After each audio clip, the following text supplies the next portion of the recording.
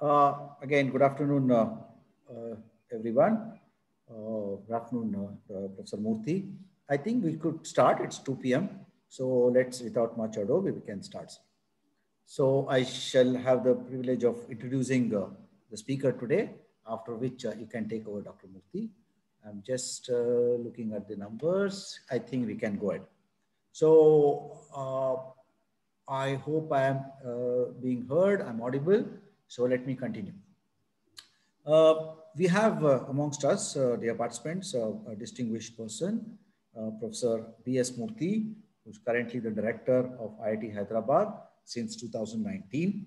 And when the question of, you know, looking for a speaker for high entropy alloys came up, and uh, the automatic choice was that of B.S. Murty from several quarters.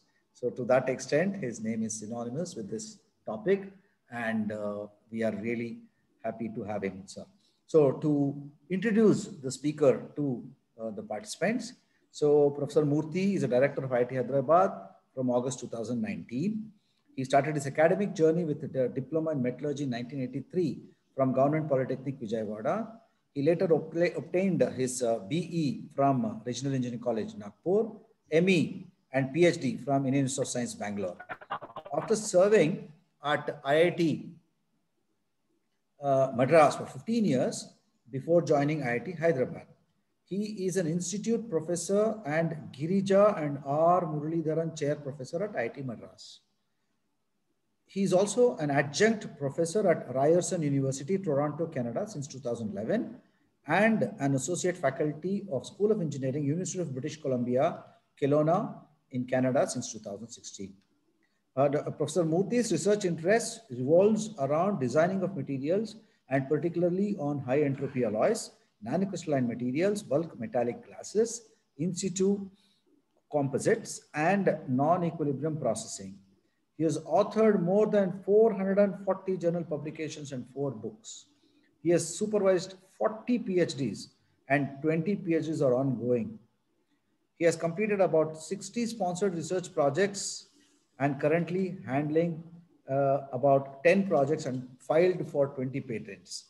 Uh, I mean, I want all the participants to understand the fact that this is, is the amount of the load that is on him, apart from being the director of IIT Hyderabad. And uh, to have a person like him to spare time for us is a, a, a great thing for us. Of course, I have some more to introduce. Uh, Professor Murty is a recipient of numerous awards, including Shanti Swarup Bhatnagar Award, J.C. Bose Fellowship Award, Distinguished Alumnus Award of IISc Bangalore, INAE Outstanding Teacher Award, Honorary Doctorate, a doctorate from Deakin University, Australia, a Lifetime Achievement Award of IIT Madras, G.D. Birla Gold Medal in 2015, Eminent Materials Engineer Award, Distinguished Alumnus Award of VNIT, that is the, uh, where he did his graduation, Metallurgist of the Year Award, MRSI Medal, INAE Young Engineer Award, INSA Young Scientist Award, Young Metallurgist Award, and ISEA Young Scientist Award. This is really, uh, you know, an entire Hall of Fame, if you ask me. So uh, Professor Murty is also a fellow of so many organizations.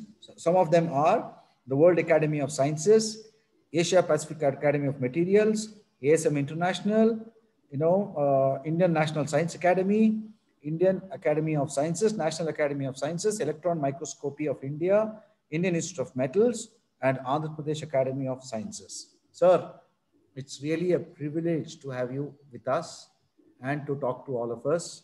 I really wish uh, the audience were all teachers, faculty, research associates, fellows from various institutions and R&D organizations across the country will take away quite a bit from you, your, uh, your uh, lecture today. I hope that you will take us through from the basics right up to the, you know, to the, to the future uh, prospects. Uh, as you have requested, you have time till 3.30 p.m. So I wish that maybe around 3.5 or 3.10, if you can stop, I feel it is necessary to have at least 15 to 20 minutes of uh, discussion or you know, be ready for the answers. Uh, sir, over to you. Thank it's your you. field. Thank, Thank you, you, Professor Good afternoon, friends. I do not know really what's uh, the background of the people. Mostly, I assume that they, these are all mechanical engineers, maybe some knowledge of material science. So that what I'm going to talk to you is, uh, is something which is just born 15 years back and growing and so exciting that most of my students nowadays work on this particular field. We are the first to start this particular field in the country. And about 15 years back, I think 2005, uh, we started this. 2004, this uh, the first paper in this particular field has emerged. Uh, that was the beginning of this field in 2004. And uh, it has been so exciting that so many people within the country and all over the world have started jumping into it. And most of the uh, material scientists, particularly metallurgists, and uh, in fact, uh, why metallurgy people, people who are working on ceramics, people who are working in composites, quite a number of people have started jumping into it. Just the excitement that it shows. I will take you around and show you what is so exciting in this particular field. I come from IIT Hyderabad. What you see here is uh, the three buildings. Uh, one is uh, a chemical on the left of mine. what is there straight away in front of you is civil engineering, mechanical engineering. It's a growing institute, very exciting institute, and uh, one of the fastest growing institute in the country, I can say, among the IITs. And as uh, eighth rank in uh, NIRF after the first generation seven IITs, among all the other IITs, second and third generation, we stand on top. So because of a uh, lot of exciting uh, research work that is going on. So I will not talk much about IIT Hyderabad today, but I will take you around of what these HEAs are, high entropy alloys. This, uh, for your information, we have a website which is be, uh, being maintained, which tells you what are all the publications that are coming up in this field. We have even started a workshop in this uh, area in the country, started in 2015, and then every two, three years is going on. Okay, so, so let me tell you uh, what these are. And we have written two books on this, one in 2014, and it was so exciting that the publisher has come back to us and said, we want you to publish one more because the field is growing significantly. When we wrote this book in 2014, there were just about 400, 500 papers. But when we wrote in 2019, there were 5,000 papers.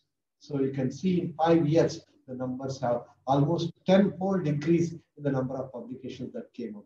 So that's the rate at which this field is growing. Just to give you an idea, I'm a metallurgist. Okay, so what you are going to hear mostly is about alloys. Okay, so in metallic materials, okay, we use this term alloy very frequently, and and whenever two metals are more than two are brought together, we call it as an alloy.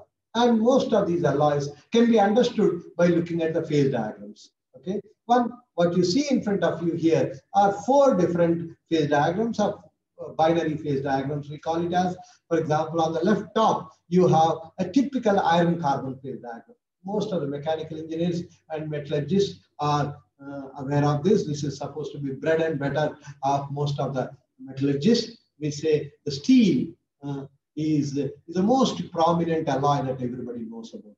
The whole uh, understanding of steels comes from this diagram.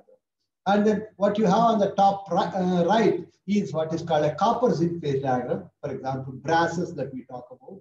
And what you have at the bottom is an aluminum copper phase diagram. Again, aluminum copper is also very important for us because the whole concept of duraluminum, that there is something called precipitation hardening that can happen, all comes from aluminum copper. Phase. diagram. Similarly, there is an aluminum nickel phase diagram on the uh, right bottom, which is again a very important alloy, uh, important system, because the so-called super alloys, which are used in uh, uh, gas turbine engines, they all come from this particular system uh, called nickel aluminum phase diagram. If you look at all these phase diagrams, there is something in common. The common thing is uh, initially when you add the solute, okay, uh, to a solvent. For example, you add carbon to iron. To some extent, carbon dissolves in iron. The moment you add more and more carbon, it precipitates in the form of a, a, a compound called cementite.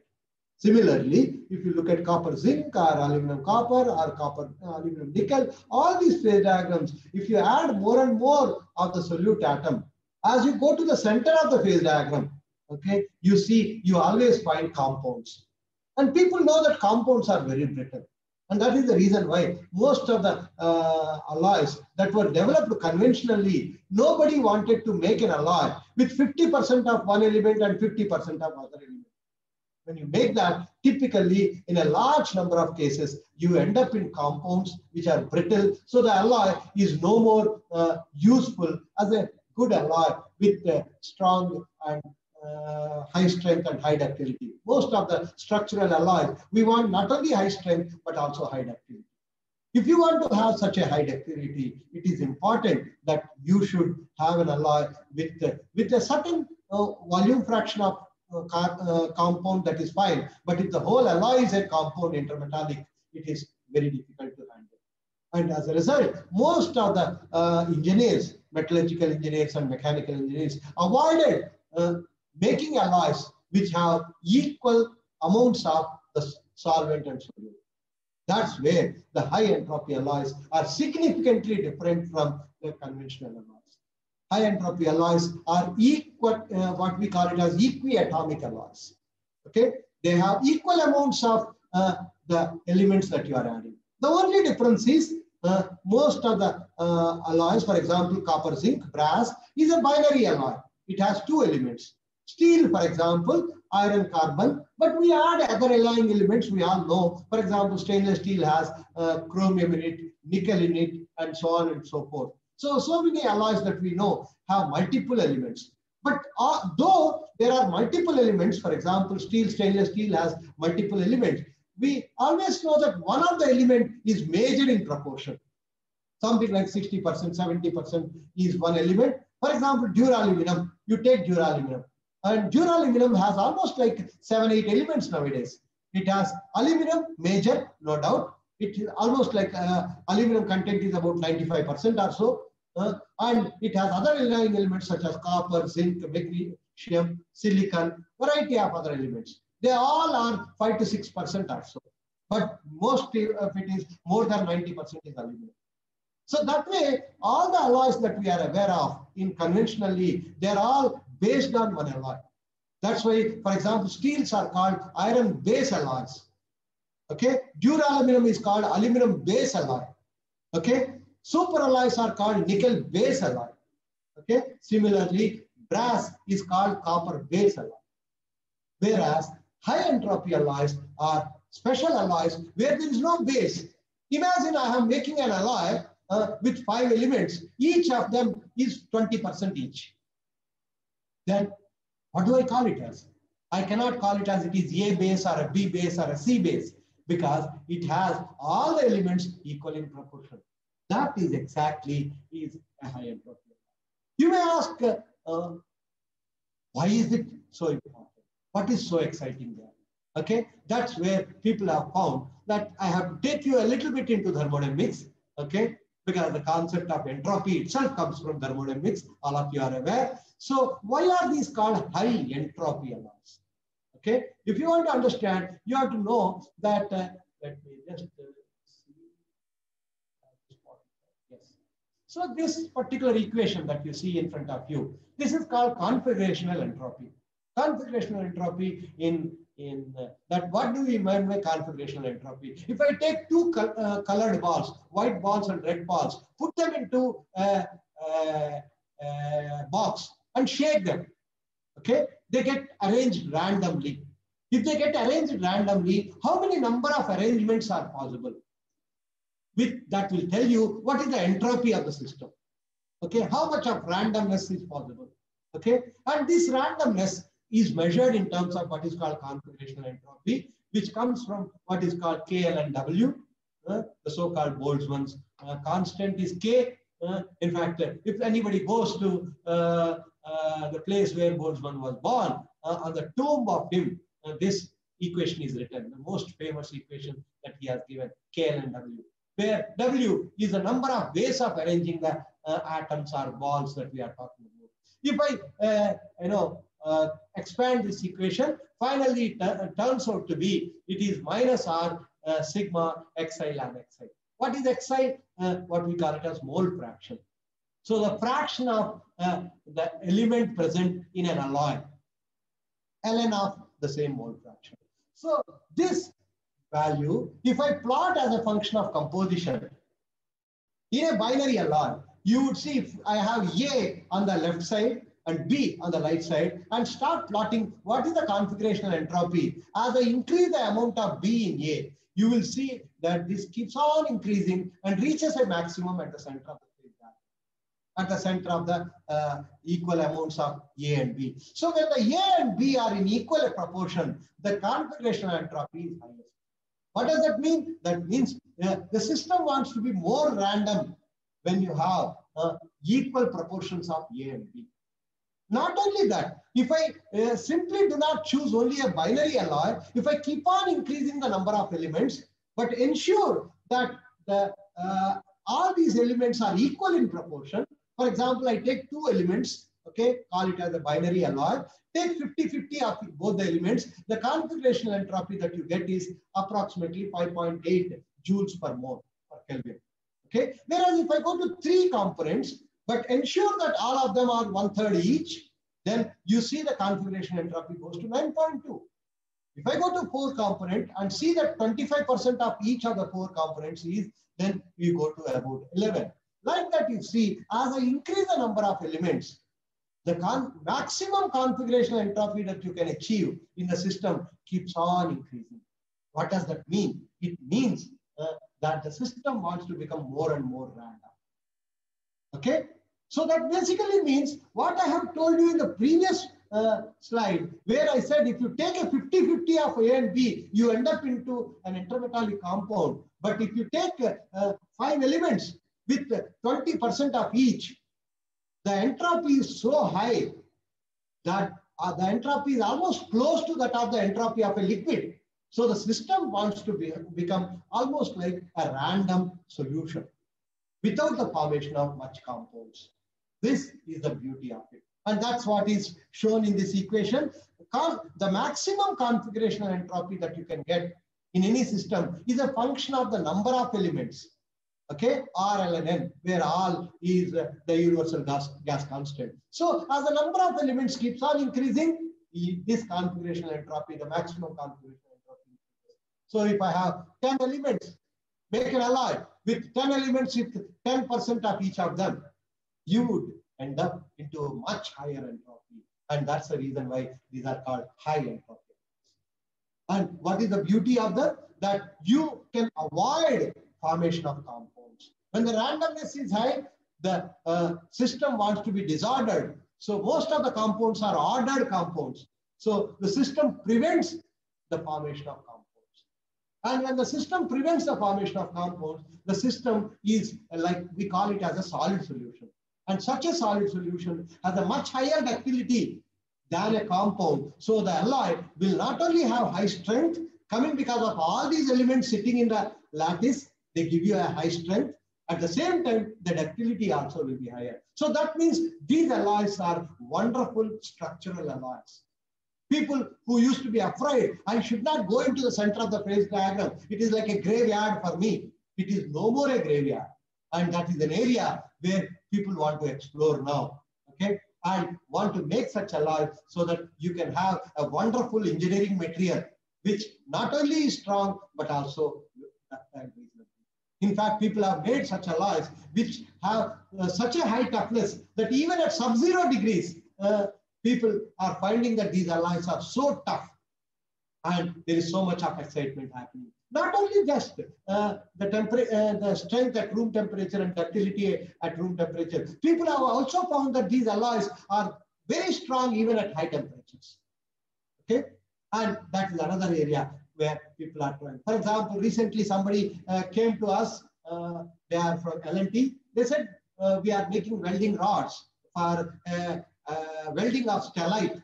The stellite is mostly cobalt-based alloy. They said, sir, cobalt is very expensive. Can you make an alloy uh, which is as strong as uh, stellite at around 600 degrees centigrade, uh, but has extremely low cobalt? Typically, a stellite has 60% cobalt. Now what we did is we made a five component alloy where cobalt is only 20%. The remaining uh, all other elements have 80%, uh, 20% each. And such an alloy, uh, we demonstrated the strength at 800 degrees is so good that this can replace a. This is the kind of people are now working on uh, Boeing, uh, GE, all these aerospace companies are now working on can we make alloys which are better than super alloys so that we can replace nickel, for example. Super alloys have nickel. Nickel is very expensive. Typically, a super alloy has about 50% or 60% nickel. If I can replace that nickel with something else which is cheaper, I am making a cheaper alloy. At the same time, if it can give you similar mechanical properties, people are now talking about can we replace it. These are the kind of excitements that we have. Just to give you an idea, the number of publications in 2018 itself is about 3,000 publications. Started, the first paper came in almost like 2004. Okay, 2004. And then uh, it started growing.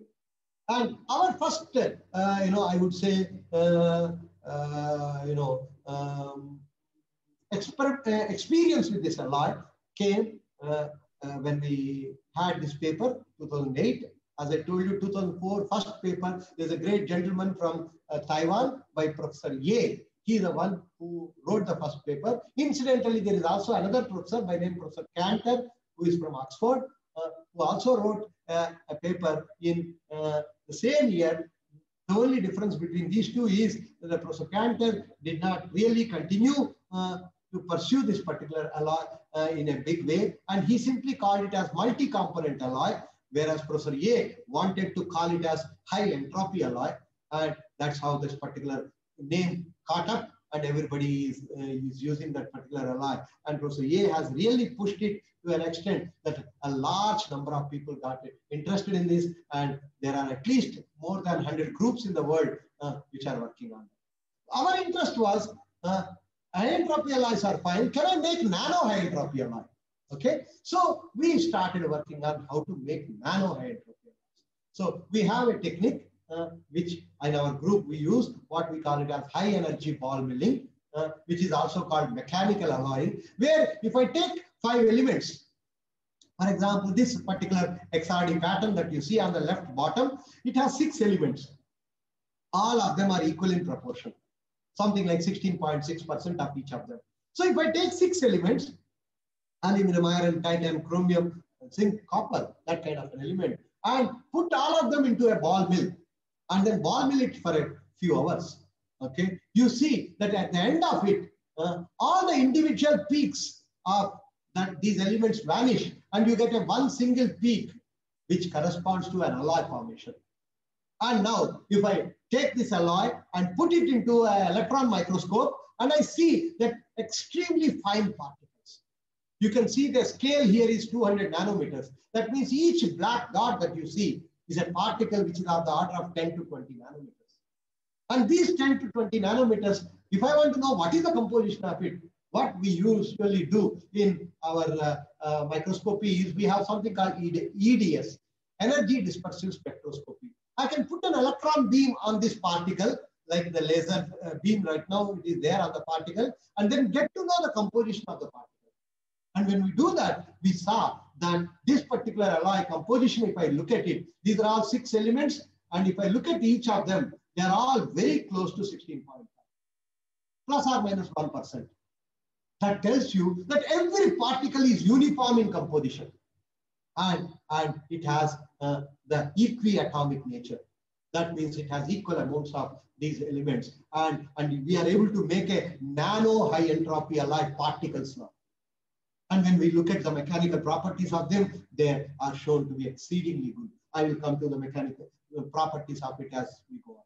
So this was our uh, first uh, experiment, which was so exciting that now last uh, more or less uh, 15 years, we have been working on this and so many alloys have been made, so much of understanding has come. In this, there are a variety of uh, important topics that one can work on. One is how to design an alloy.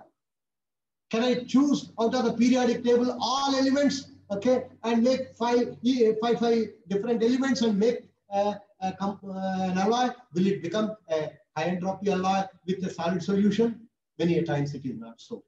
So, so the, one has to understand how to design an alloy. And not only that, can I predict? Most of us know if I go to a phase diagram handbook, typically I have phase diagram handbooks for binary alloys. It is very rare to find uh, uh, you know, phase diagrams for ternary alloys. Now I am talking about five component alloy, which is called a quinary alloy. How do I make uh, a phase diagram for a five component alloy?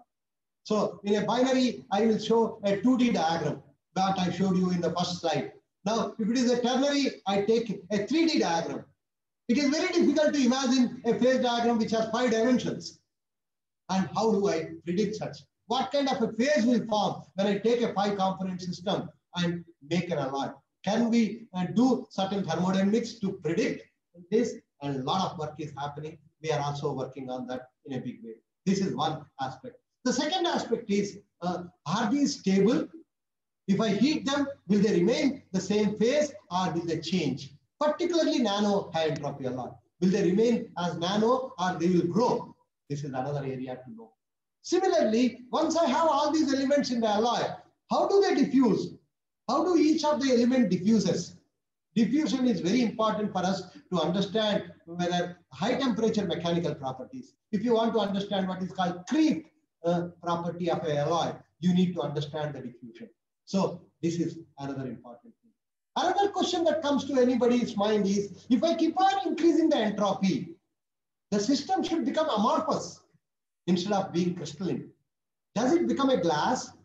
Here we put a word called BMG, bulk metallic glass. So can we make a glassy high entropy alloys, high entropy alloy glasses, okay? When under what conditions a particular alloy will remain crystalline, under what conditions an alloy will become amorphous. This is another area, that one, one not small. So all of, all of these we have been working on. Similarly, can we make refractory high entropy alloys? That means high melting elements I take, tungsten, molybdenum, niobium, things like that. Make an alloy out of that. Such alloys are useful for very high temperature they are also useful for uh, uh, alloys where you want to have very high density. For example, something called kinetic energy penetrators, which defense people use for such kind of a thing. You are possibly looking for such kind of refractory Similarly, can I make the high entropy alloy so light, such as equivalent to an aluminum uh, alloy? Uh, so that the alloy can not only have high strength, but also very low density so that the so-called uh, specific strength, strength divided by the density is very high. Similarly, can I make, people are so excited about oxide dispersion strengthened steel.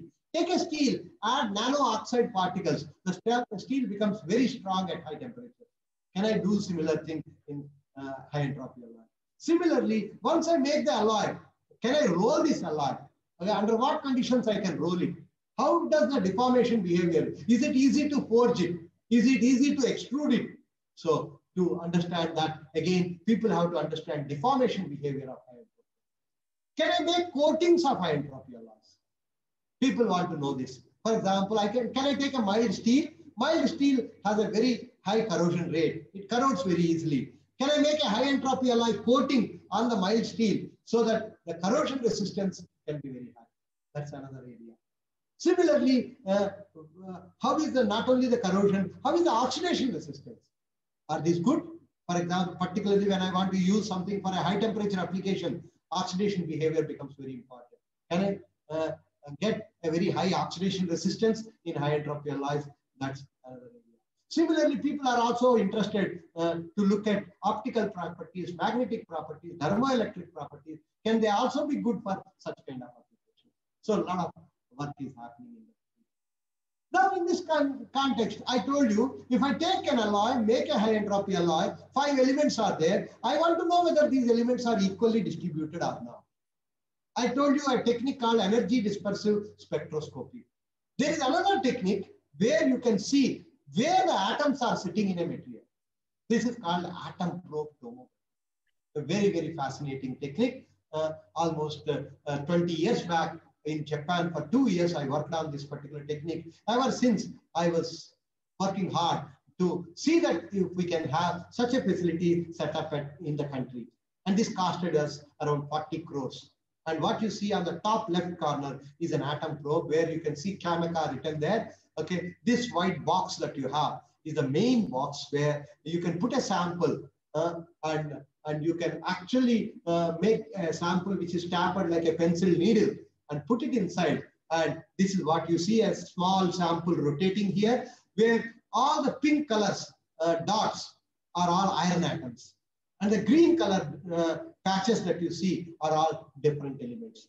Okay, so we can actually see every atom looks like a dot here. Uh, so you can see where which atom is sitting in, in a material which is three-dimensional. So it's like a CT scan that you do for our brain, let us say, or for our stomach. So it's like a CT scan, but CT scan at the atomic level. This is the most fascinating. This is the first of its kind which has come to this country. More importantly, what is also beauty of this is this machine can be operated from anywhere in the world. We have actually eight institutions which have come forward. Okay, five, uh, six IITs, ARCI came and BR, Bhabha Atomic Research Center. Each of them gave us around two crores each. So we got about 16 crores like that. And we went to DST, Department of Science and Technology. I said, I have already got about 16 crores. Can you please give me 20 crores more? So that is how I got about 25 crores with them. And this is the first such facility, which we call it as national facility, which has come with the money from all of them. And in lieu of that, what we have done, this kind of a workstation that you see on the left uh, on the table, it is supplied to each of these partners. And they send us a sample and we sharpen the sample like a pencil needle, put it inside this. The moment I put the sample inside, they can take over sitting at IIT Bombay, IIT Delhi, everywhere. This machine is sitting in IIT Madras and you can operate it from there. Okay, this is the first microscope in the, uh, in the whole country which can be remotely operated. And it's the first atom probe in the whole world which can be remotely operated. And that's the beauty of this. And it runs on a 24 by 7. We run it in three shifts. Okay, three operators running in three shifts. And everybody keeps on sending samples and we do. And this is a beautiful technique. And with that, what do we do? Okay, this is one such sample. This is an ODS steel. Okay, oxide dispersion strengthened steel. Here, it's a steel sample in which I have put yttria nanoparticles. I want to know uh, whether uh, these yttria nanoparticles are intact, uh, how are they distributed, and whether any other elements are, are reacting with these yttria nanoparticles and changing the composition of them. To know that, what I do is take the sample and do what is called mapping of each element. You can see this is iron mapping on the left pink color that you see, tungsten, chromium. This alloy has tungsten and chromium in it. It is called 9 chrome, 1 moly, and 1 tungsten kind of an alloy. Okay, so uh, uh, no moly in this tungsten. Some alloys have also moly also in that. But if you see all these iron, tungsten, chromium, everything is uniformly distributed. But if you look at yttrium, titanium, and oxygen, they are distributed only in those particles. And each of the particle is two nanometers. In a two nanometer particle, where is what atom sitting? Can be actually seen. That's an amazing technique, okay, which very few places. Now, uh, other than IIT Madras, IISc Bangalore also has got this, whereas IIT Madras facility is a national facility, whereas IISc facility is meant for them. And you can see this, okay? This is a high entropy alloy, okay, with about four components. I can show you that this iron, cobalt, chromium, nickel, all of them equally distributed at the atomic level. Please understand. So you can make an alloy uh, which is equally distributed atoms at the atomic level. Okay. And we can also see where is oxygen in its alloy. You may say, why should I see oxygen? Whenever you are melting an alloy or something like that, there is always an oxygen in the atmosphere. So it is possible that oxygen also goes into, maybe nitrogen goes, maybe carbon goes from some electrodes that you are using or maybe the ladle that you are using, it may have some carbon. So you want to see. So every element can be seen including even hydrogen. Hydrogen is the smallest element that we know, atomic number one. Okay, there is no technique, spectroscopy technique, which can show you where hydrogen is sitting inside an alloy. This technique is one such technique which can show you.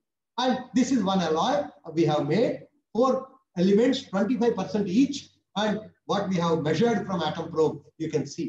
it's all plus or minus uh, 0.5% or so.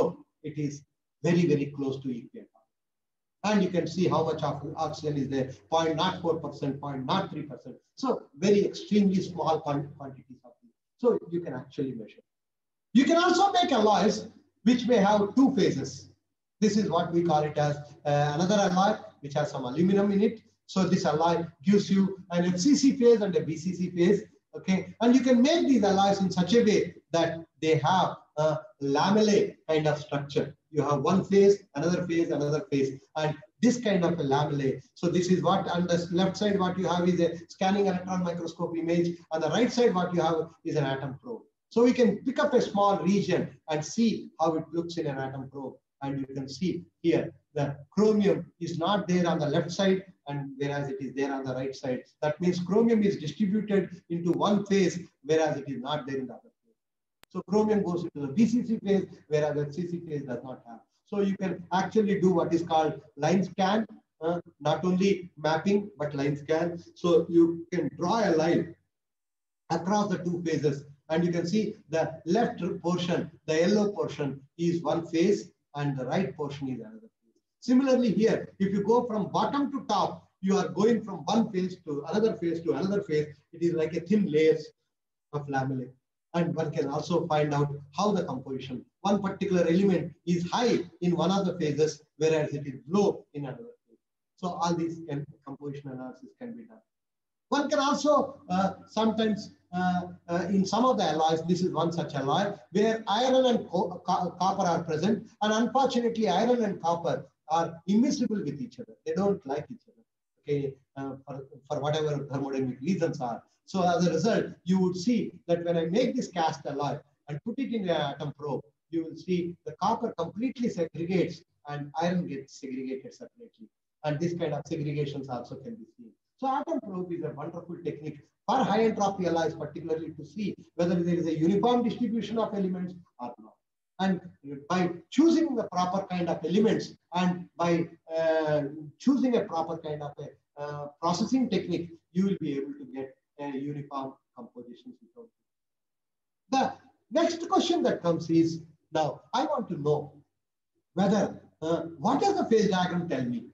Can I first of all uh, make a phase diagram which uh, is a multi-component phase diagram?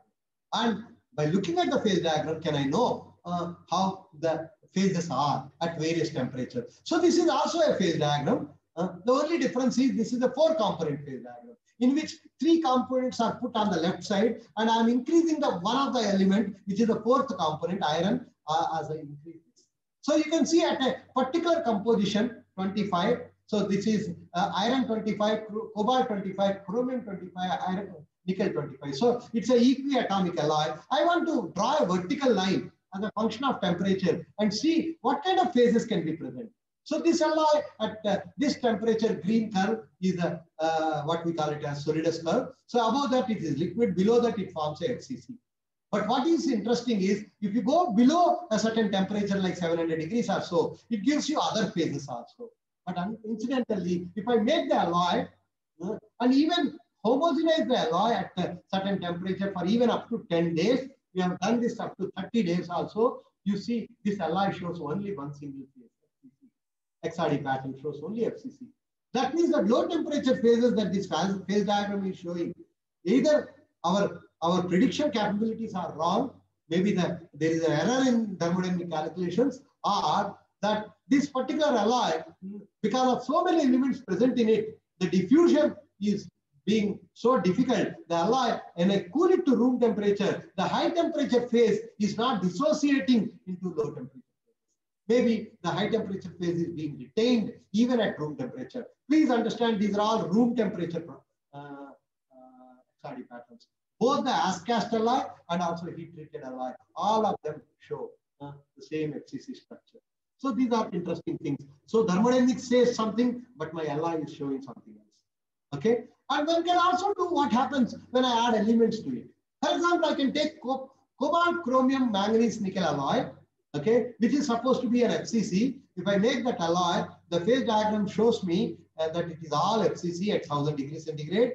Uh, whereas if I add copper to it, The moment copper is added, copper does not dissolve into chromium, does not dissolve into cobalt. So copper is immiscible with cobalt and chromium. And as a result, copper starts giving you a second FCC phase because copper structure is FCC. So you start getting two FCCs. And if I keep on increasing the copper content from 0.16 to 0.2 to 0.33, like that, if I keep on increasing, you will see more and more of copper comes out. How do I know it is happening? I have different uh, techniques which will show me this. One is XRD. So if I can take the four component alloy without any copper, I get a single set of uh, XRD peaks, which will tell me that this is all a single phase FCC. The moment I start adding copper, you can see another peak is coming up here. You see that peak is becoming bigger and bigger to such an extent that when I increase the copper content, okay, you see the, the copper phase is much more. Both of them are incidentally FCC. So we call it as FCC1 and FCC2. And how do I know this? This is the case. I can do an SEM. SEM again shows me if I do elemental mapping. Uh, so you can show, see that some of the regions, which are, we call it as interdendritic regions. There are dendrites and interdendritic regions. That means between the dendrites.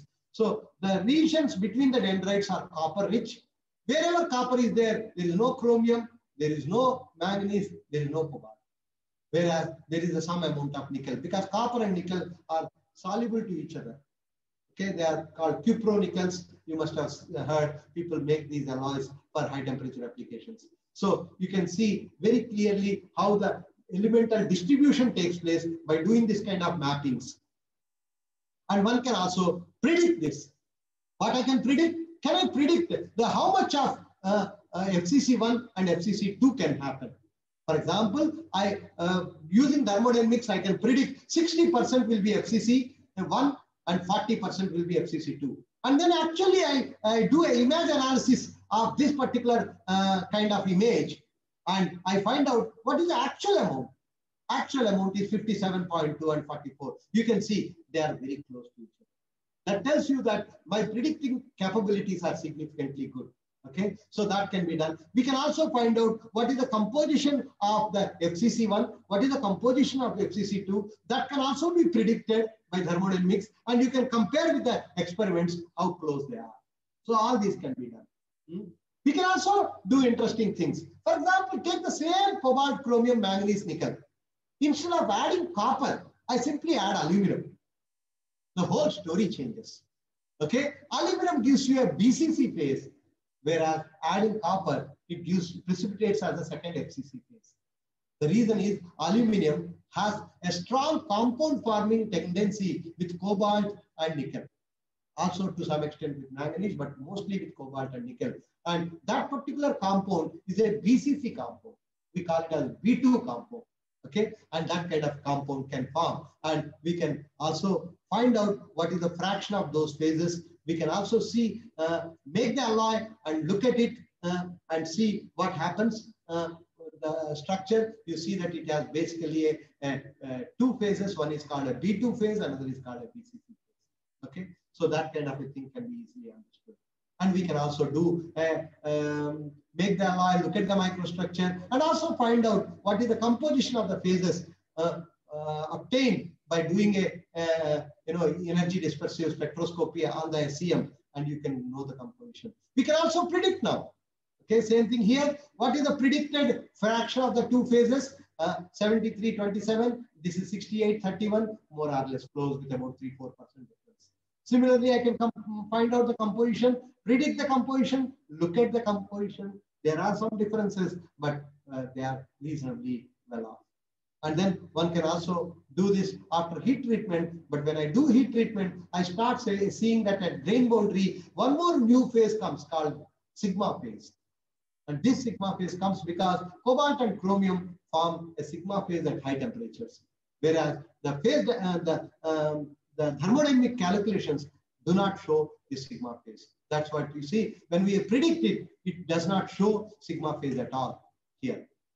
Okay, that means the, the thermodynamic databases that we have are not able to create a true five component phase diagrams. We have still limitations. So there is a lot of work need to be done to improve our thermodynamic capabilities to know whether we can predict what we see. Because any model, unless it validates the experiment, uh, the model is not complete. So the experiment shows that there is a 3% of sigma phase, whereas the thermodynamics is not able to show that. It shows almost zero.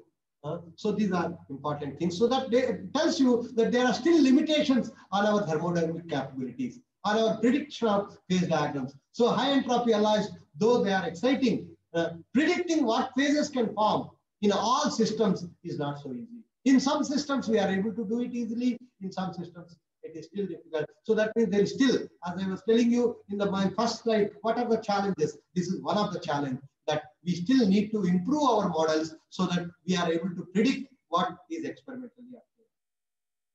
Okay, this is how you can see. If I take the cobalt, chromium, manganese, nickel, it is a single phase FCC. The moment I add copper, it becomes uh, uh, copper gets segregated to the interdendritic regions. The moment I add aluminum, it forms a BCC plus B2 kind of a phase. Okay, and with a very small precipitations of B, B2 in a BCC matrix. So very interesting. The XRD patterns also you can see that it happened. The moment you add copper, second FCC phase comes. So similarly, one can also uh, demonstrate thermodynamically also three, these three alloys, how the phases are. But what is also interesting is I can also use my thermodynamics by looking at the binary phase diagrams or binary, what is called free energy composition diagrams. We call them as GX diagrams. From that, we may be able to predict what phases can form. So this is not a, I would say, a foolproof system, but because doing thermodynamics of multi-component systems is much more difficult, I can do uh, thermodynamics of binary systems, and by looking at them, can I predict what kind of phases can form? For example, look at cobalt, chromium, manganese, nickel. If I take all the binaries that can form, cobalt, chromium, cobalt, manganese, cobalt, nickel, chromium, manganese, chromium, nickel, and so on and so forth. Look at all the six possible binaries. And look at it, if you look at the free uh, energy composition diagrams, you find that mostly the lowest curve is always FCC. So that means the stable state is always FCC. That is the reason why this alloy prefers to form an FCC phase. And but if I do uh, add an aluminum, the moment I add aluminum, aluminum with cobalt and aluminum with nickel, it shows you a, a, a intermetallic compound which has the lowest free energy that tells you that this particular system has a tendency to form a compound, which is basically a B2 compound. And that's the reason why we are actually seeing B2. That's how you can see. By looking at simply binaries, I will be able to say. Though the other binaries are not showing this, but because these binaries have a very low uh, free energy, they uh, dominate the rest of the things and they start forming compounds. But the moment I add copper, to these elements and make these four dia uh, diagrams, which are free energy composition diagrams, you start seeing that there is an inflection. There is like a hill forming, particularly with uh, copper with chromium and copper with cobalt. That tells you that there is a tendency to phase separate. Copper does not want to dissolve. The moment you have a, a free energy composition diagram which, which forms like a you know, scoop, stooping hill on top. That means the free energy becomes positive.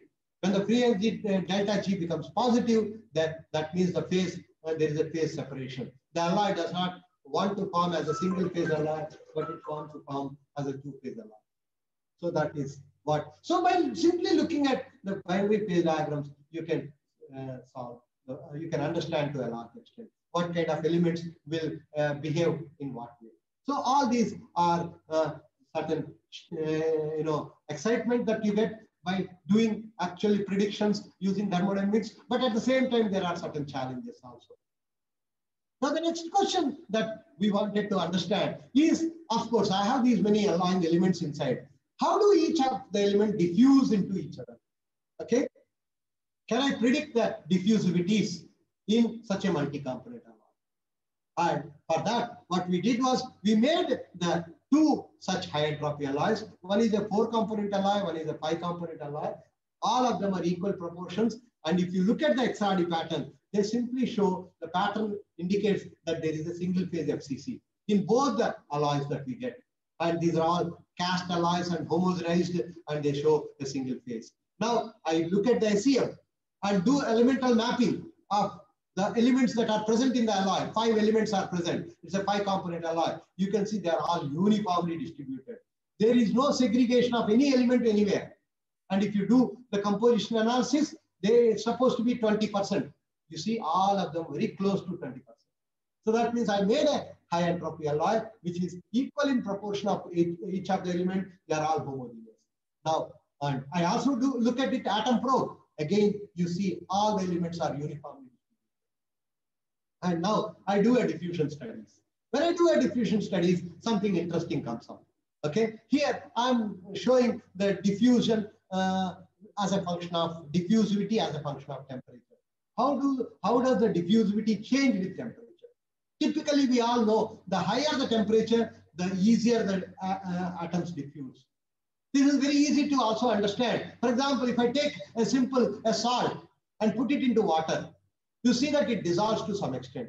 Okay, but if I heat the water, you will see that the salt dissolves into water much more faster. Same thing, sugar. You want to add, you want to make a sugar syrup. Simply add sugar into water. You may have to wait for one hour for the water to uh, dissolve all the sugar. But you start heating it.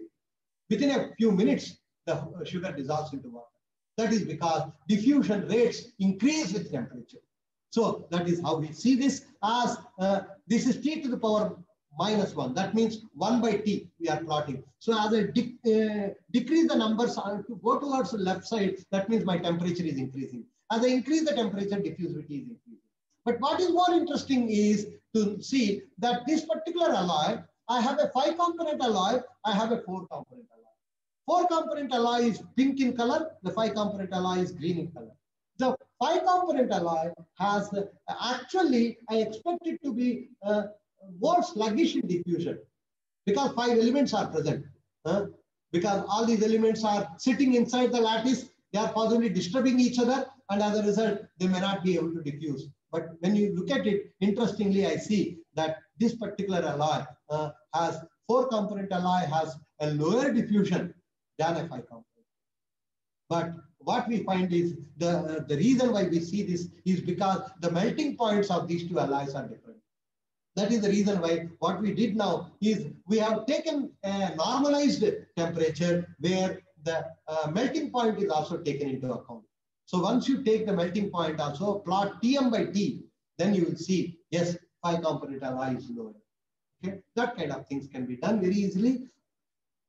people do all these things. But what is interesting is when I compare with a pure metal, pure nickel, the diffusivities of the pure nickel, these are all circles, and compare it with high entropy alloy, the difference is not too large. Just to tell you that possibly the diffusion is not as much sluggish as I am thinking. Okay, this is something again a challenge. A lot of people are working hard on why is this like this? Is it specific for a particular system or is it generally observed everywhere else? Because everybody believes that they should have very slow diffusivities. But we see that the diffusivities are not that slow. We also wanted to see how do the elements diffuse along the grain boundaries. Sometimes we think that grain boundary diffusivity is faster than the diffusion of atoms within the grain. To know that, first of all, I wanted to know whether there is any elemental segregation at the grain boundary. So for that, what we did is we prepared a sample using a technique called FIB, focused ion beam, in such a way that my tip that I'm putting in the atom probe has the grain boundary uh, uh, which is going longitudinally from top to bottom. So I cut a sample in such a way uh, inside the FIB, focused ion beam, such that the grain boundary is from top to bottom. So you have a grain boundary here. Okay, and now I do an atom probe uh, both the four component and five component. You see that though there is a grain boundary going from top to bottom here, you do not see any segregation of any element at the grain boundary. Telling that this alloy is so homogeneous that even at the grain boundary, there is no segregation. That's the uh, beauty of such a high entropy alloys. And when you do diffusivities, again, you don't see much difference between a, a grain boundary diffusivity or a bulk diffusivity to tell you because there is no uh, segregation at the grain boundaries, the diffusivity is similar when it is uh, in the bulk or in the grain. So all this can be done. We also wanted to see, can we make uh, two, uh, you know, these alloys and look at them, uh, how fine the grain structure can be. So we made these alloys in two different ways. One is called casting, okay? One is called mechanical alloy. After mechanical alloy, you get powders. Take the powders, compact it and put it into what is called a spark plasma sintering machine and sinter it into a pellet, into a block of material. And look at the cast alloy. The cast alloy has very large grains. It's, you see, this is 100 microns. Each grain is about 50, 100 microns. But inside the grain, if you carefully look at it, there are very small, uh, you know, features. This is what is called a decomposition at an atomic scale that happens in some of these elements. So there is a wonderful what is called spinodal decomposition that happens in these. So there is extremely fine precipitates inside the grain. Whereas if I do the mechanical line, all the grains are extremely small. Okay, you can see, look at these particles, they are all extremely small, around 200 nanometers to about 10 nanometers. Okay, whereas here the grains can be much larger, almost 50 microns or 100 microns. One can also look at it carefully. This cast alloy has very fine structure inside, I was telling you. Whereas the, the mechanically alloyed and spark plasma sintered alloy has very small grain sizes. Okay, this is about 200 nanometers. Each grain is about 20 nanometers, not more than that. That is the beauty of it. One can do uh, electron microscopy to find out what is the structure of these phases. I'll not go into the details, but it's all possible. Okay, so one can also uh, make other alloys. This is another alloy, which again shows you the moment you have aluminum, which is about uh, this much, you start getting both a FCC plus BCC mixture. So we can generate a variety of phases that we are interested in by playing with the compositions and, and make these alloys, look at their microstructure and talk about the properties. Okay? So these are all various microstructure. Another thing that we also did is, uh, if I am doing a casting, typically what I do is I take all the elements and put it into a, a kind of a, a, ladle or a crucible where I melt all of them. So for example, if I want to make a ABCD alloy, I take A, B, C, D, all the four elements and make an alloy. Whereas if I am going by a mechanical alloy, I can do interesting things. I can take an AB alloy first, A and B, do ball milling and get, make a AB powder and then add a C to it, then make a ABC powder, then add a D to it and ABCD powder. Will there be any difference between these uh, kind of a thing? Or if I add all the ABCD powders together and ball mill it and get a ABCD, will there be a difference? So this is what we call it a sequential alloy. Very exciting things can be done here. And we tried to do that. And we found that depending on what is your starting uh, point, you can have a different microstructure. So the path uh, defines what is the final product that you get. Uh, that's another interesting thing that it is not the final composition that is important, but the path that you have taken to reach the final composition is also very interesting. So with that, we can actually play with the, the phases that can form. If I want to have 100% uh, uh, BCC phase, what can I do? If I want only 50% BCC phase, what can I do? So like that, I can play with the, the uh, phase fraction by uh, changing the sequence that I choose. One can also do, as I was telling you, after the alloy is made, I want to know how do I roll it? Okay, at what temperature I can easily roll it. Okay, that is another important thing. What is called deformability. Okay, so we try to do this deformability studies, and in this process, we plot what is called temperature versus strain rate, and we found out a particular domain where the uh, deformation is uh, the most efficient, and this is what is called uh, you know deformation maps Okay, and for this particular alloy, we found out that at 1100 degrees centigrade, we can easily deform this material.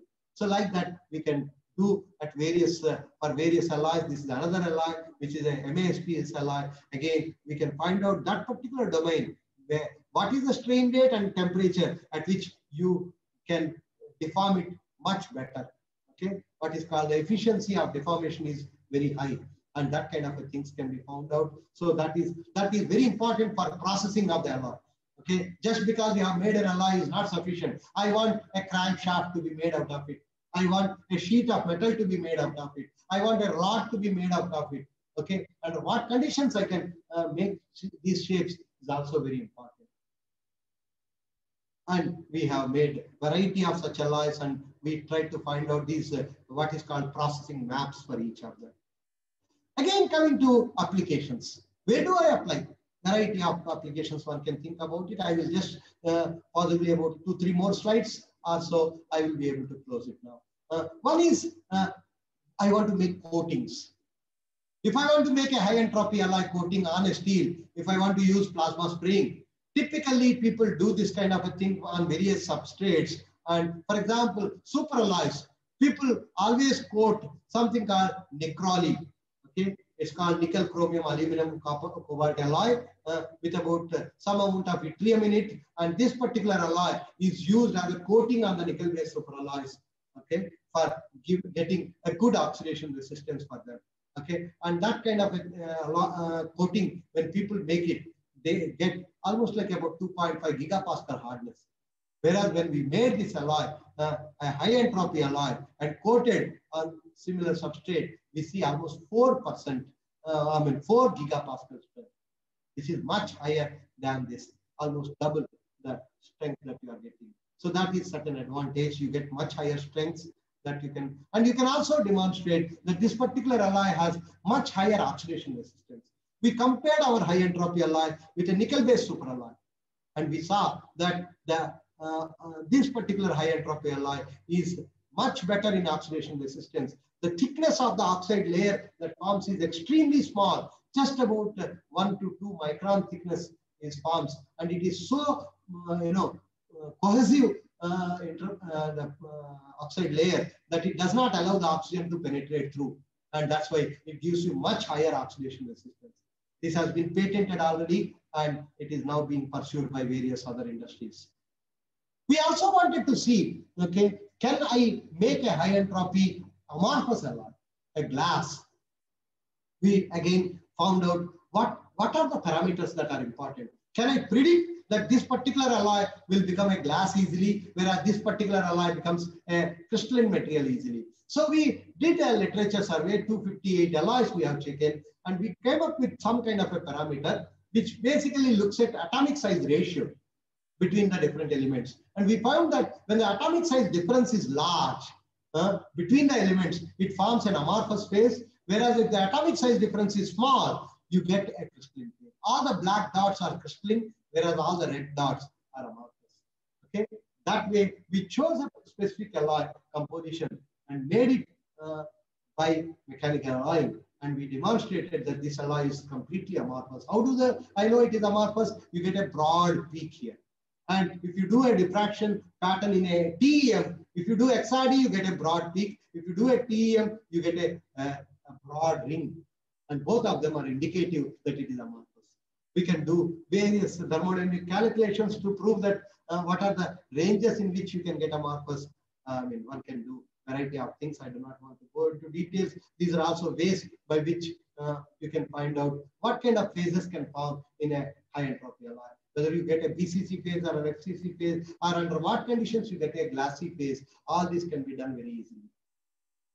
And finally, we wanted to prove whether I can take an intermetallic compound and destabilize this intermetallic compound and make it amorphous just by increasing entropy by adding elements.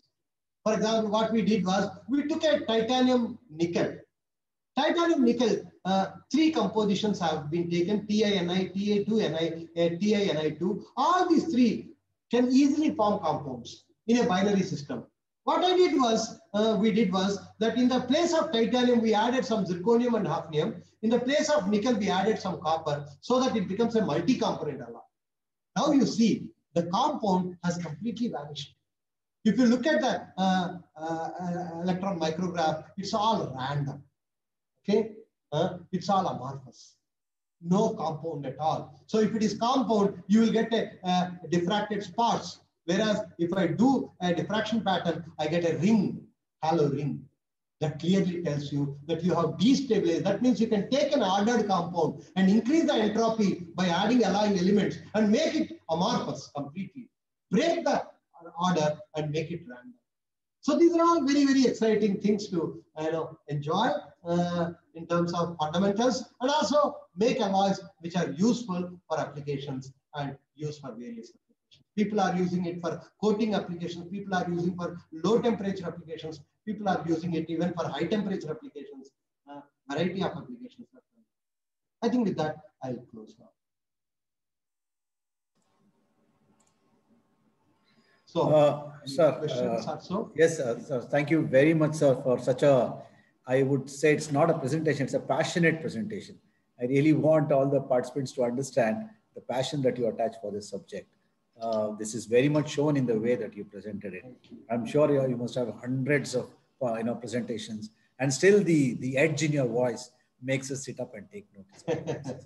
so really, that's that's what I, I for me is the biggest takeaway uh, that, that that comes probably from the love for the subject that you have. Right, sir. Okay, I. When uh, you sir, love your teaching, automatically it comes out.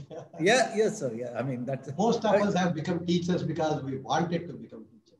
uh, so that it, it shows I the love. You, I don't yes, know how many BTech students are sitting here. After my BTech, I asked only one question to my my BTech uh, project guide. Sir, if I have to become a teacher like you, what should I do? Okay, he was a fascinating teacher if I uh, got interest in my teaching, it was thanks to that teacher who taught me in Nagpur, really? REC Nagpur. So, so then he said, Murty, you should do a PhD because that improves your knowledge so that your understanding of the subject becomes stronger. And that's how I went to IISc and did my PhD. I can, I can tell you for sure that the kind of students who want to become teachers are drastically reduced. I teach also in my college here in Ramaiah and uh, when I ask students, how many of you want to become students? There's zero or maybe one hand goes see, up. See, the only, I mean, if the students are there, I can only tell you one thing. Okay, uh, uh, two points. One is once upon a time, people used to think teaching is a very low paid job. Okay, uh, not anymore. No so. It is no more so. Okay. I, I do not know how much you get. Uh, mostly, I know TCS gives you about 20,000 to begin with. Okay. Uh, uh, you know, accepting in a few colleges. Uh, whereas uh, if you are a faculty to begin with, you get about 1 lakh. And most of us professors get around 3 lakhs. Okay. And if you do a lot of consultancy, if you. That is part of it. We'll collaborate on projects. Along with it, so, so that way, you know, teaching is no more a low paid job. That is one. I, Second I point that I want to tell you is yes, freedom. Okay, academics gives you amazing freedom. For example, my research, if I look at the last 30 years, I started with glasses. I went into nanomaterials. I worked for some time on uh, aluminum alloys, doing grain refinement, or using casting of aluminum alloys and things like that. And now I'm into high entropy alloys last 10 years. So you can keep on changing your fields that you want. Okay. And nobody decides what you should do. You decide what you want. This freedom you will never get, never get uh, in any. So I, I always say this to my student. There is no price tag to freedom. Okay. Uh, so, so the freedom that you get in academics, I mean, even if you are in any industry earning a lot of money, uh, you won't get it. At the end of the month, he says, have you done this production? Okay, this is the productivity that I'm uh, uh, you know, uh, expecting from you. Okay, you have to deliver. And one more imp important thing is there is no boss for you. Okay, in academics, we don't have any bosses. An assistant professor is not an assistant to a professor. Okay, uh, he is as independent as, as a professor is. Okay, that's the beauty of academics. I mean, if you want freedom and enjoy, and every day you make something new. I mean, I, I, sleep very little, four hours possibly a day I sleep. Okay, so so that's just because there is so much of excitement all around. I think in should. spite of all my administrative responsibilities, okay, I spend minimum two three hours on my research every day. Okay, so I think you should. I think you should address all the students. I, I think rather than the teachers. No, no, Sir, we don't have much time. So on the chat box, if you can see, there are a few questions. Yeah, let me open the start. chat box. Uh, yes, sir. On, uh, you can start from them. Then, if there is still time available, they, you could answer some oral questions as much as well. So maybe you can scroll up and uh, look at it. I'm coming from uh, top to bottom. Yes, correct. So, is it possible to fabricate a alloy through a powder metallurgy process? Yes. I am doing powder metallurgy for the last 30 years. my, my MTech started with powder metallurgy. We started a new field called mechanical alloying in the country. Okay, I, you can, uh, I, I mean, uh, if I am not boasting, I can claim myself to be the possibly the first guy to started mechanical alloying of amorphous alloys in the country. And now uh, there are so many groups in the country which do mechanical alloying. All of them started with the first paper that we wrote in 1990, 30 years back. Okay, and our whole group to a large extent does, uh, though we also do casting and make ingots, but at the same time, we do a lot of powder. So you can make a high entropy alloy by powder metallurgy very easily. And such a high entropy alloy will be amorphous, I mean, will be nano in nature. Whereas when compared to cast alloy, cast alloy will have a large grain size. Whereas if you do by powder metallurgy route, you can get a nano high entropy. So it is possible. Okay. And can we use APT to analyze metal polymer? Yes. In principle, yes. Okay. The only issue is uh, mm, the stability of it at low temperatures. One important thing which I did not tell you about atom probe is, you know, at any given temperature, atoms vibrate, right? That is how we talk about uh, atomic vibrations. We talk about CP, heat capacity comes because of atomic vibrations. So if an atom is vibrating, how do I find out the location of an atom? It becomes very difficult. It is not sitting at one place, it is vibrating. So instead, what we do in an atom probe is we cool the sample to almost like 30 Kelvin or 40 Kelvin using a liquid helium. So that I freeze atoms, like in our childhood, we have this game, freeze. So you just freeze. Okay. So here, atoms are all frozen now. After atoms are all frozen, then I pull atoms by using a field uh, uh, at the tip of it. So when I apply a field, if the field is large enough to uh, break the interatomic uh, bonds so that atoms can be pulled out from the tip and they come and hit a detector. And when it hits a detector, the time that it has taken uh, from the, uh, for the atom to travel from the tip of the sample up to the detector, this particular time is a function of the weight of the atom, mass of the atom. Okay, so from that, uh, I will know which atom is hitting the detector. Similarly, where it is hitting will tell you my location of the atom in my tip. So the XY coordinates of the atom uh, are stored when the atom goes and hits on a screen, a detector screen. And then after that, one more layer is taken out, one more layer is taken out. Like that, like a CT scan, layer by layer, the atoms are pulled uh, by applying a field. And finally, all these layers that the detector is receiving are all stitched so that you get the, basically you reconstruct the sample in, in a virtual mode in, in the computer.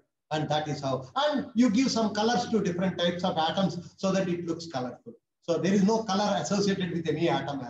It is we who give color. So in principle, you can do anything. The only thing that you cannot uh, put in an atom um, probe is live samples. I cannot do biological samples which are live, okay? Because by the time I take it to 30 Kelvin, most of these livestock will be dead. So that is the only problem. Otherwise, anything can be done. On what basis you can tell high entropy alloys are attained? Yeah, five elements.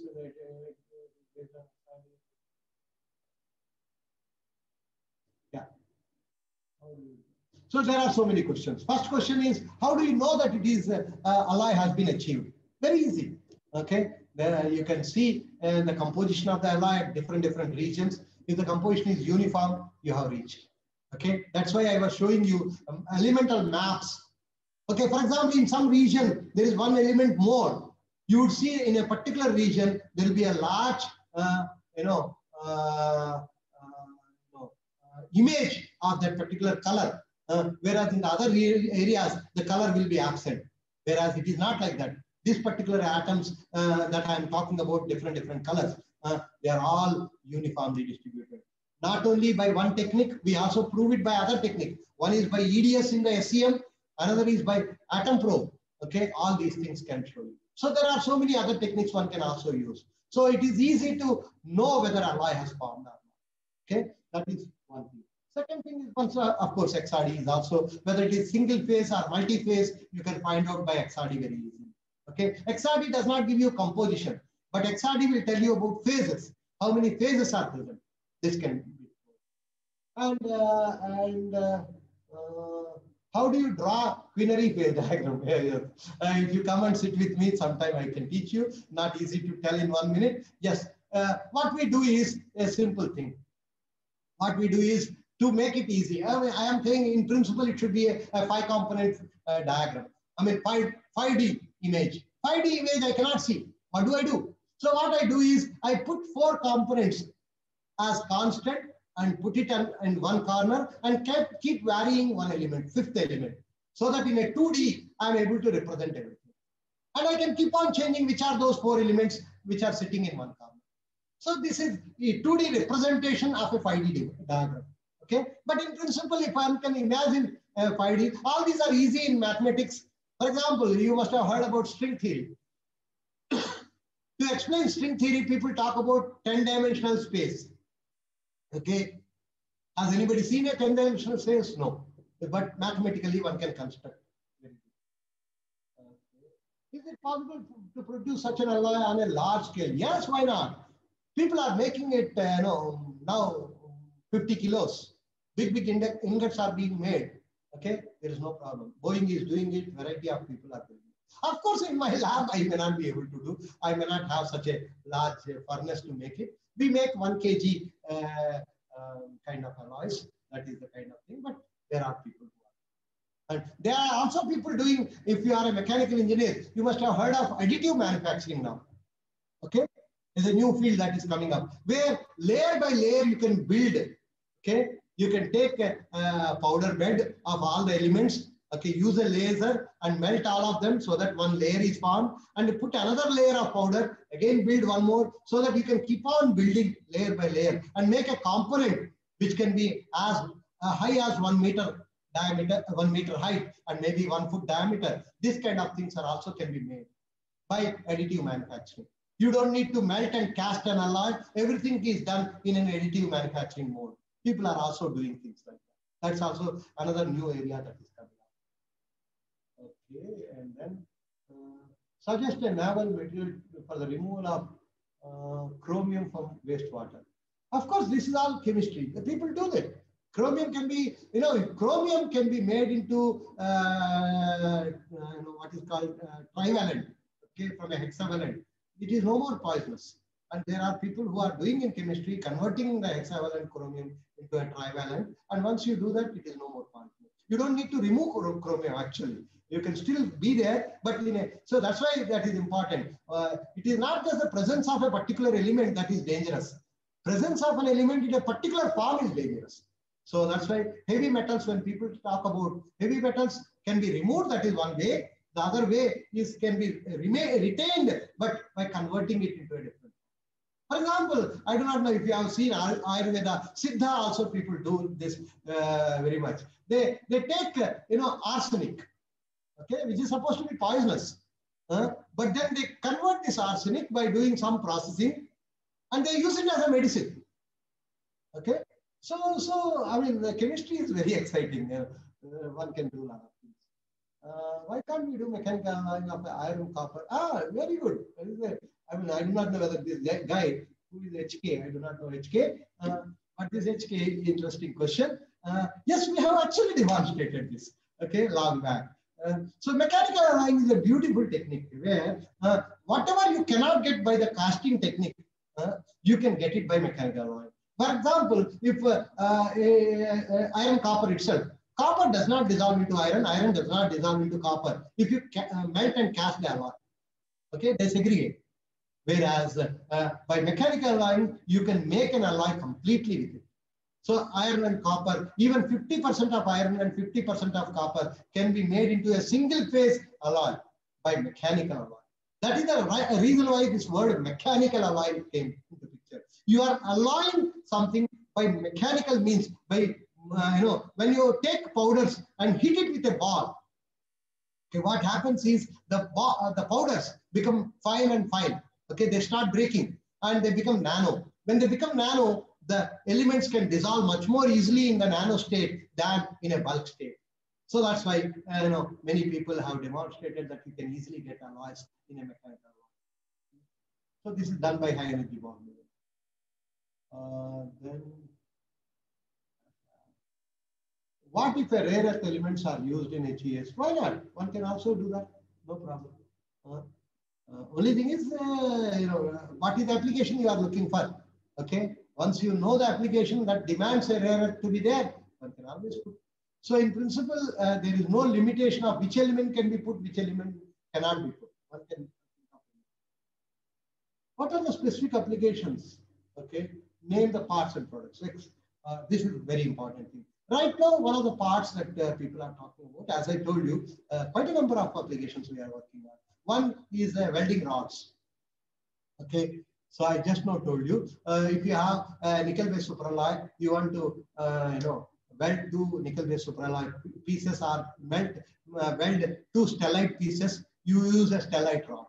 Okay, and stellite rod is very expensive. So we did it, uh, L&T EWAC is a company with which we have done this and where we have demonstrated that you can use a high entropy alloy and which can give you same uh, results as, as that of uh, a stellite after welding is done. So welding consumables is one. Second is coating, okay? Uh, corrosion resistant coatings, oxidation resistant coatings, wear resistant coatings. These are, uh, some of these high entropy alloys are so uh, hard that you can actually make this coating on a, on a uh, any, any material and demonstrate that the alloy can have a very high wear resistance wherever you need uh, high wear resistance. So that kind of things are being done. As I told you, in nickel-based superalloys, people are using it as a coating, what is called a bond coat. Uh, that's another area. Boeing is working, GE is working, quite a number of people. So like that, these are certain examples I can talk, but we can think of many, many other examples too. Yeah, I think I have more or less covered everything. I don't think Uh, uh, Dr. Uh, Murty, some people uh, prefer to put it on the uh, chat box and some people prefer to ask you orally. I'd like Yeah, to see please, if there is anyone, any, any, anyone uh, would like to ask I have 10 minutes. You can ask any questions. please. Yes. Any, any, uh, any of the participants would wish to speak to Dr. Murty?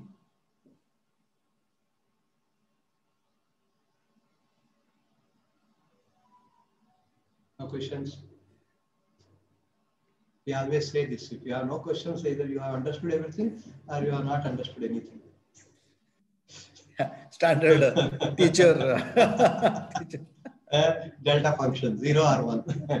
anyway, so, so thank you very much, friends. Uh, yes, uh, okay. I think in which case uh, we shall uh, have to thank you on behalf of all the persons here, that is the organizers, AICT and the participants.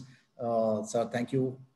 We know we thank you profusely for you. being with us and uh, taking us through the I used to be adjacent to your college for almost six years. Oh, okay. My, my master's and PhD at IISc Bangalore. Only a wall separates the two. yes, yes, yes, yes, yes, yes. We rub shoulders with them. yeah, sure, Hopefully, sure, we should sure, sure. do something about. It. Anyway, thank you once again, sir, uh, very much for uh, taking your time off, and uh, we wish you all a